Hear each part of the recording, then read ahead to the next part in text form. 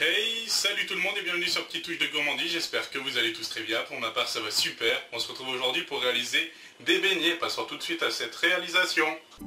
Comme d'habitude, je mettrai le détail de la recette dans le descriptif de la vidéo. Donc pour réaliser les beignets, il vous faut du lait, de la farine, du sel, du sucre, du beurre, de la levure boulangère et un œuf. Première étape, vous pouvez mettre la levure boulangère dans le lait et vous mélangez pour faire dissoudre la levure. Le lait la levure est bien mélangé, c'est le moment de rajouter un œuf dans notre préparation et vous mélangez bien le tout. Dans un seul récipient, on va réunir les produits secs. Donc, dans le bol de la farine, je rajoute le sucre et une pincée de sel. Avec le robot muni d'une feuille, on va mélanger le tout. Au fond de la cuve, on va rajouter le mélange lait, œuf, levure. Ensuite, on va mélanger tout en même temps, la farine, le sel et le sucre, avec le mélange lait, levure, œuf. Nous avons mis la feuille juste pour que ça soit bien mélangé. Après, on utilisera le pétrin. Donc, vous mettez à la vitesse 2 ou 3 maximum, même pas une minute, juste le temps que ça soit bien mélangé. Regardez comment c'est bien mélangé. C'est le moment d'enlever la feuille et de passer au crochet. Là, nous avons fait l'échange, nous avons mis le crochet, donc le pétrin, et on va mélanger le tout pendant 2 ou 3 minutes pour que la pâte soit bien lisse, et on passera à l'étape suivante. Ça fait 3 minutes de pétrissage, vous pouvez voir que la pâte est bien lisse, c'est le moment de rajouter le beurre à température ambiante, ça veut dire un beurre pommade, et vous laissez tourner 5 minutes, vous verrez que la pâte sera prête. Voilà, au bout de 5 minutes de pétrissage, vous pouvez voir que la pâte est magnifique et elle est nickel.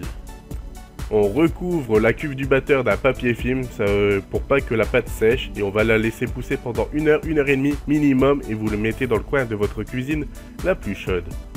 Voilà le résultat au bout d'une heure et demie de pouce, vous voyez qu'elle a doublé de volume, elle est nickel.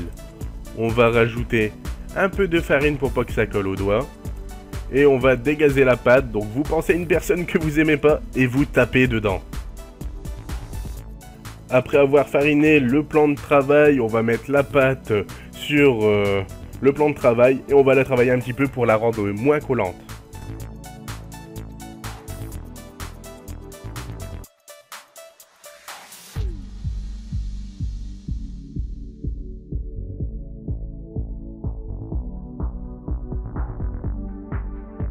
Après l'avoir travaillé pour qu'elle soit moins collante, c'est le moment de l'abaisser. Vous l'abaissez à épaisseur de 1 cm à 1 cm et demi.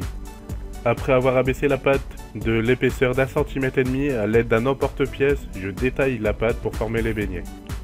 Avec la chute de la pâte, vous pouvez toujours reformer une boule, raplatir pour continuer à détailler la pâte pour avoir plus de beignets. Sur une plaque, j'ai rajouté une feuille de papier cuisson que j'ai mis de la farine dessus, comme ça quand je vais mettre les beignets, ça va éviter de coller. On va mettre un torchon propre dessus et on va les faire pousser encore une heure et demie et vous le mettez dans l'endroit le plus chaud de votre pièce. Voici le résultat après une heure et demie de pouces, vous voyez qu'ils ont doublé de volume, ils sont magnifiques. C'est le moment de faire chauffer l'huile à 180 degrés pour faire cuire les beignets. Si vous voyez que mon huile est un petit peu colorée, c'est logique car j'ai essayé ma recette avant pour pas non plus mettre n'importe quoi sur internet. Et en même temps, c'est pour voir aussi la durée de l'huile, combien de tournées je pourrais faire. Comme vous pouvez le voir, ça cuit assez vite, donc je le retourne pour cuire euh, l'autre côté du beignet. Je mets à peu près une minute chaque face, de toute façon ça se voit à la coloration. Si vous voyez que c'est bien coloré, vous retournez. Si vous voyez qu'il manque un petit peu de coloration, bah vous le laissez un petit peu cuire. Après la cuisson, pour absorber euh, le gras, je le mettrai sur un papier absorbant. Comme vous pouvez le voir, le beignet est nickel, une belle coloration, il est bien cuit, ça donne envie de le manger, mais il reste juste une étape, le garnir.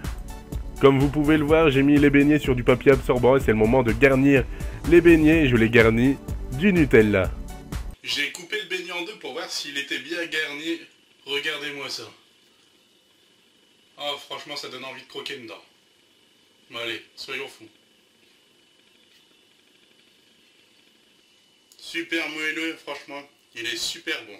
On arrive à la fin de cette recette, j'espère que cette vidéo vous aura plu, n'hésitez pas à liker, commenter, partager cette vidéo, ça me ferait extrêmement plaisir, je vous dis à bientôt pour de nouvelles recettes, bye tout le monde